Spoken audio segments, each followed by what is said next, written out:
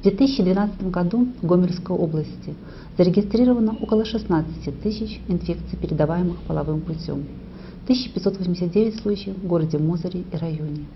Кроме полового пути передачи, инфекциями можно заразиться при тесном телесном контакте с человеком, который имеет признаки заболевания, при использовании нестерильного инструментария, при контакте с кровью больного, очень редко бытовым путем. Чтобы избежать инфекций, передаваемых половым путем, нужно помнить, чем больше сексуальных контактов, тем выше риск заражения.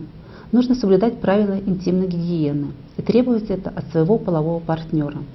Необходимо отказаться от половых связей с партнером, который не прошел полный курс лечения.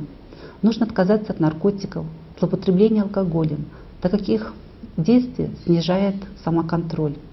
При случайных половых связях необходимо всегда пользоваться презервативом и средством индивидуальной профилактики. Это мирисмистин, хлоргексидин и другие.